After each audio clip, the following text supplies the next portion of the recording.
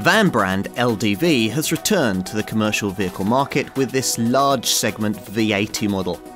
True, it doesn't have the sophistication of the volume players in the large van sector, but it wouldn't do because it costs a fraction of what those vans are priced at, despite the fact that it will probably serve most of the needs of your business just as well. In short, if you need profit more than polish, this contender could be worth a try.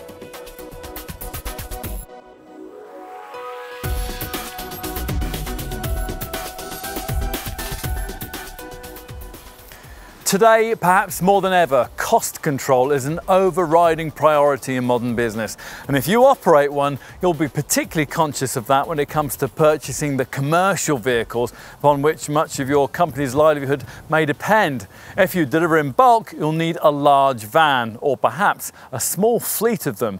If that's the case, then the primary selling point of the contender that we're going to look at here is going to be difficult to ignore once you've been briefed about it. Welcome to the LDV V80. Now that selling point doesn't really lie in any of the things that van makers usually talk about, technology, carriage capacity or engineering. No, let's get straight to it. This LCV is spectacularly affordable. I really do mean that too. Large segment models, Citroen's Relay, Vauxhall's Movano and Ford's Transit, for example, tend to start at an ex-VAT price of around £25,000. For an LDV V80, the ex-VAT starting figure is around £10,000 lower than that. Yes, you heard that right. Now imagine the saving that kind of reduction would generate for your company if you were buying a small fleet. There are several reasons why LDV is selling this model so cheaply. First, it needs to re-establish itself in the British market. Today's business very different from the underfunded and rather shaky brand of the same name that eventually collapsed into receivership in 2009. LDV is now owned by Chinese manufacturing giant SAIC, the seventh largest vehicle maker in the world and the current owner of MG. That'll eventually mean a series of new commercial vehicles, but while those are finalised, the brand has dusted off the old Maxus model it was selling a decade ago just before the receivers moved in. They've now rejuvenated that product and rebadged it as the V80. Now the resulting package is inevitably a little behind the current standard when it comes to things like running cost efficiency, drive dynamics and media connectivity. Still on the plus side it promises to back up that super low pricing with tough practical virtues and it can even deliver a slice of modern technology in the form of an all-electric variant. So does the proposition on offer here make sense? Well that's what we're here to find out.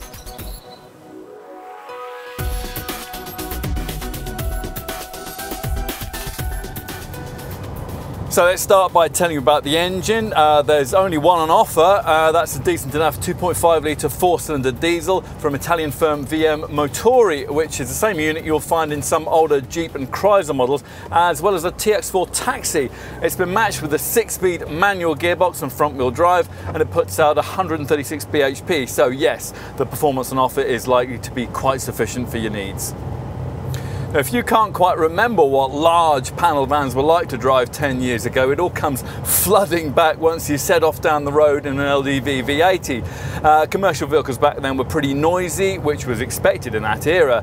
Uh, but if you come to a V80 fresh from a trip and a modern LCV design, uh, you'll have a much more car-like perspective on refinement. And inevitably, it's one that this Chinese contender is ill-equipped to match. Uh, fortunately, though, you will rarely find yourself exacerbating the situation situation by revving out through the gears because the engine has quite a narrow power band and unless you stay in that sweet spot, that's somewhere between 1800 and 2600 RPM, uh, the V80 tends to run out of puff quite quickly. Still, the reasonably slick six-speed manual gearbox has been set up to make the most of the 330 newton meters of torque on offer, and it has generally well-spaced ratios, although six could do with being a little longer to improve uh, highway refinement.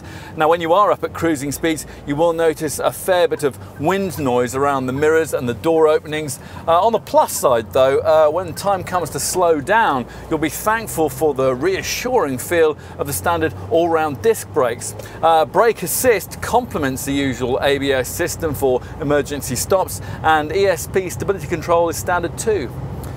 Like all vans, particularly large ones, uh, the cornering demeanour of this one improves quite a bit when there's a bit of a load in the back. Uh, when you are running empty, the leaf springs at the rear are particularly prone to being unsettled over bumps. And whatever your V80's load configuration, you'll certainly feel the uh, larger potholes and tarmac tears that you'll come across in typical urban motoring. Now, if your business deliveries will be uh, primarily urban based, then LDV hopes that you'll consider the alternative all electric version of this model, the EV80. Now, here a 56 kilowatt hour lithium ion battery combines with a 100 kilowatt electric motor to produce an operating range of up to 120 miles.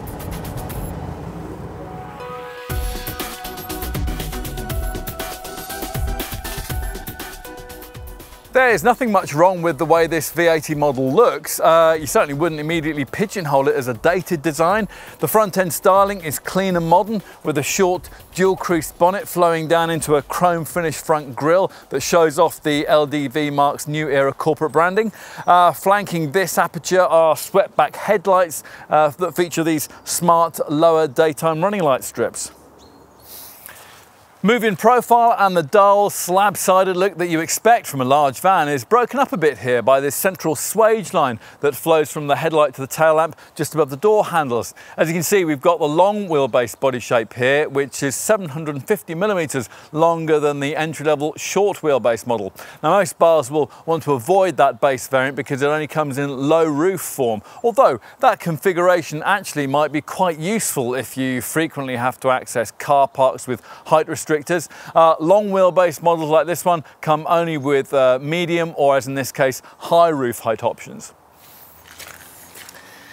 At the back, the body colour bumpers look quite smart and there is the option to get this central upper panel glazed, although can't really see why you ever would. Um, what you can't have is a one-piece tailgate.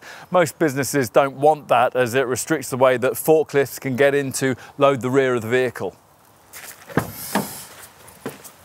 Right then, let's take a seat inside where the first thing you'll notice is that the instrument binnacle isn't where you'd expect to find it. Uh, instead of being viewable through the four-spoke steering wheel, the two main dials have been positioned instead at the top of the silver-coloured centre stack. Now that doubtless makes things much easier for the Chinese factory when it comes to producing left and right hand drive models, but it's not really ideal from a user point of view and it requires you to sometimes take your eyes off the road a little more than you might ideally like. Uh, still, you do quickly adjust to this and there really aren't any other major ergonomic issues. Uh, the driving position is aided by the de rigueur fascia mounted placement of the gear stick, which falls nicely to hand. The seating placement is high and commanding and the vast windscreen gives a clear view ahead, uh, plus there are large mirrors with manually adjustable secondary mirrors below them. Uh, the driver's seat, that could do with a little more rearward travel, but otherwise it's pretty comfortable with eight-way adjustment, uh, which is just as well because you can't properly adjust the steering wheel. Uh, it's a pity you can't get a leather covering for this either to alleviate the rather slippery feel of this cheap plastic rim. Uh, we found the cruise control system a bit difficult to get grips with too. It's a curious setup that's operated by pressing a button on the dash to set a speed, uh, but cancelled by a press on the brake pedal. As usual with a large van, a three-person front bench is standard. Uh, it doesn't though incorporate the kind of fold-down centre seat back that uh, rivals provide. Uh, there is room underneath the passenger side of the bench to store various items that you might want to keep out of sight though. And other stowage areas in the cabin include a reasonably sized glove box, uh, deep door bins, twin cup holders and a couple of shallow dash top trays either side of the instruments. Uh, this high roof body style gets an overhead storage shelf too, but just be careful careful what you put on that. Uh, you don't want hammers and tools crashing down on your head if you accelerate off in a hurry. What else? Um, well, unfortunately, you can't have a DAB radio, but you do get a USB port, an aux in point, and a 12 volt socket, uh, plus Bluetooth phone connectivity, and even optional smartphone mirroring connectivity if you want it. Uh, there's a full height bulkhead that you'd expect from a model in this class, although this one doesn't include the, uh, the lower flaps that you'll find in some rivals that allow you to push longer items through from the cargo bay. Uh, on the plus side, though, it does include a built-in window um, so you can keep an eye on the baggage area if you're carrying items that might be prone to sliding around. Build quality, well, that seems okay. Uh, past LDV models like the Pilot, the Convoy and the Maxus were screwed together in the Midlands, but for all its British branded hype, the V80 is constructed in China at an SAIC factory, just like the MG cars also produced by this Asian maker. Overall, probably what's most important is that this feels like a cabin that could withstand the rigours of a hard working life.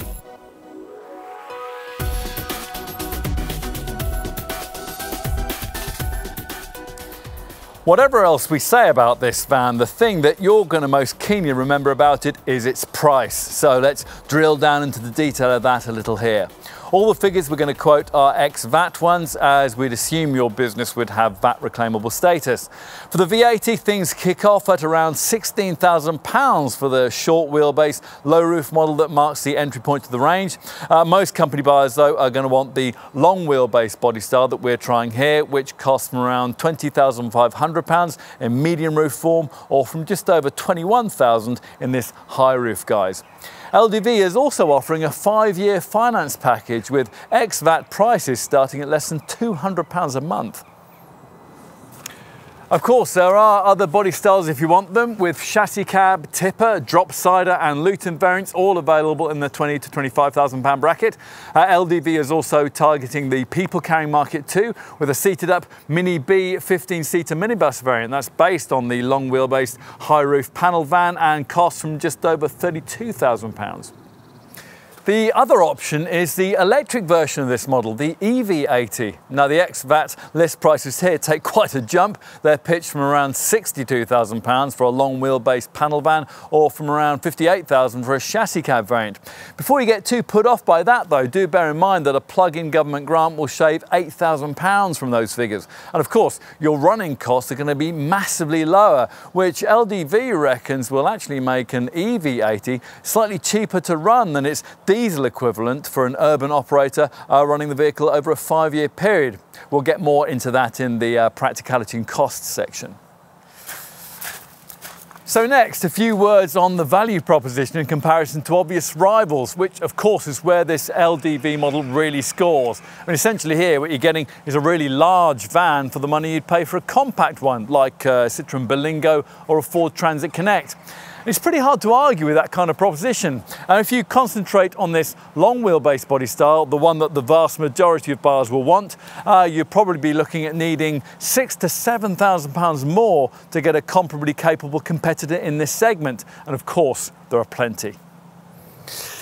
Obvious rivals include models like the Ford Transit, the Volkswagen Crafter, uh, the Mercedes Sprinter and the Iveco Daily, but you may also have been considering the uh, two other designs that dominate the large van market. Firstly, there's one that's badged as either Vauxhall Movano, a Renault Master or a Nissan NV400, or there's a design marketed as either a Fiat Ducato, a Citroen Relay or a Peugeot Boxer.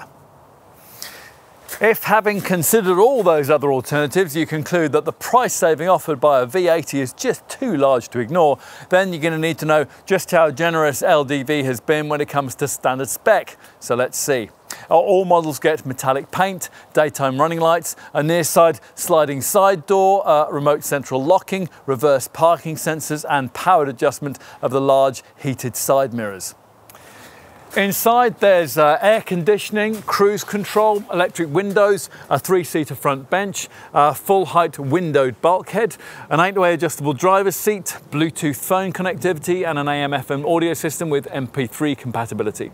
Safety kit includes twin front airbags, ESP stability control and a tough safety cell. Plus of course ABS brakes with EBD, electronic brake distribution and BAS, emergency stop braking.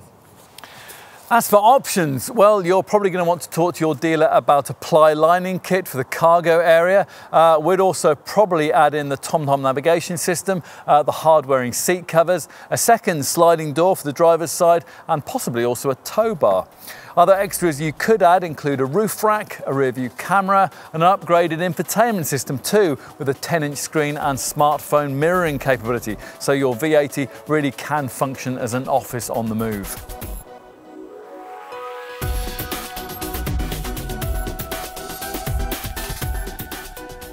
We've talked elsewhere in this film about the three main panel van body styles being offered to LDV V80 buyers. Uh, short wheelbase low roof, long wheelbase medium roof and as in this case long wheelbase high roof. All based around a 3.5 tonne vehicle mass. So let's check out the practicality being offered in a little more detail. As usual, these two big rear doors open out first to 90 degrees and then they can be pushed back to 270 degrees if you remove the stays and fold the doors around to magnetically click on those uh, two large humps. The rear door opening width is 1550 mils, while the rear door opening height on this high roof variant is 1790 mils. That's up from 1580 mils with the medium roof body style. Uh, there's a low floor loading height and inside you'll find decent load area lighting, nine tie down points and an easy clean non-slip cargo mat for the floor, although most operators will want to specify a proper ply lining kit like this one to protect the interior metalwork. On this long wheelbase model, there's 3,300 millimeters of cargo area length and 1,770 millimeters of cargo area width. That narrows to 1,380 millimeters between the wheel arches. The cargo area height is 1,925 millimeters. That's up from 1,710 mils with the medium roof body style. That means a total cargo volume of 11.6 cubic meters. That's up from 10.4 cubic meters with the medium roof body style. As a point of comparison, the entry-level short wheelbase low roof model can only take 6.4 cubic meters. So yes, providing you go for the lengthiest wheelbase, most of what you want to take will probably fit. Now the payload figures aren't especially notable by class standards though. In the long wheelbase range you're looking at 1419 kilos for a medium roof model and 1389 kilos for a high roof. Now if you're loading in from a side, uh, there's enough side door opening width, 1290 millimeters, to be able to slot in a Euro pallet. And whatever your roof choice, you get a 1590 millimeter side door aperture height. Uh, on to running costs. Now you won't be expecting the fuel and CO2 figures of this rather old two and a half litre VM Motori diesel engine to equal the currently prevailing class standard, and they don't, uh, though you should get a reasonable driving range from the 80 litre fuel tank. LDV quotes a combined cycle fuel figure of around 30 mpg, which is about 10 mpg adrift of obvious rivals. Same story with the CO2 figure, that's quoted at 250 grams per kilometre, and a typical rival these days is rated at 170 to 180 grams per kilometre. As for servicing, well, maintenance intervals are set at every 15,000 miles. Uh, some fleet customers may be put off by the relatively small size of the LDV dealer network. Uh, at the time of this test, there were only 23 UK operators. However, the brand points out that many of these have affiliates who will also take care of servicing, so you should never be too far from workshop. Plus, franchises will tend to bend over backwards to look after you far more than a mainstream branded dealership probably would. Of course, none of this will be an issue if you opt for the all-electric EV80 model with its 56 kilowatt hour battery and 100 kilowatt electric motor. Uh, this has a claimed driving range of 120 miles in between battery charges, uh, the length of which will of course vary depending on the kind of charger you're using. LDV says that with a rapid charge DC charger, an EV80's battery can be charged to 80% of its capacity in just an hour and a half. With an AC charger, that time will be extended to six hours and if you ever had to charge your EV80 from a mains plug it will probably take over nine hours.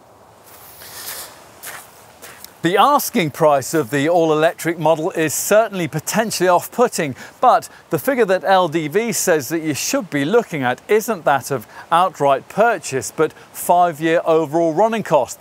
In rough terms, uh, the brand reckons that over that time, an urban-based company would probably spend around £70,000 in buying, maintaining and fueling a conventional diesel-powered large van, as opposed to around £68,000 for an EV80. And that doesn't take fully into account uh, inner city congestion charges that are likely to rapidly rise over the next few years as new emissions legislation starts to bite.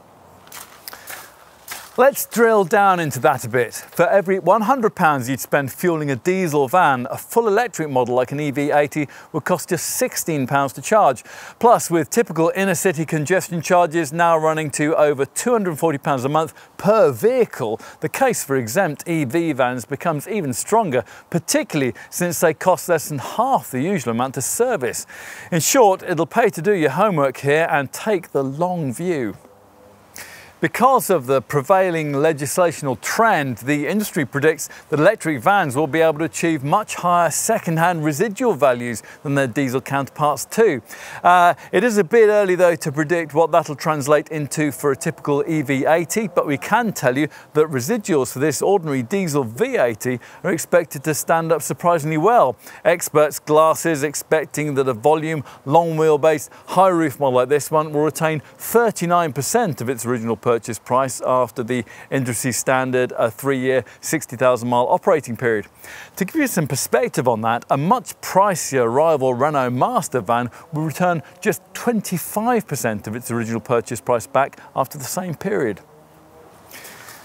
What else? Uh, well, insurance is rated at Group N2 across the range, and you get a much better warranty than most uh, other brands provide. Uh, LDV offers a five year, 125,000 mile warranty and five years of roadside assistance.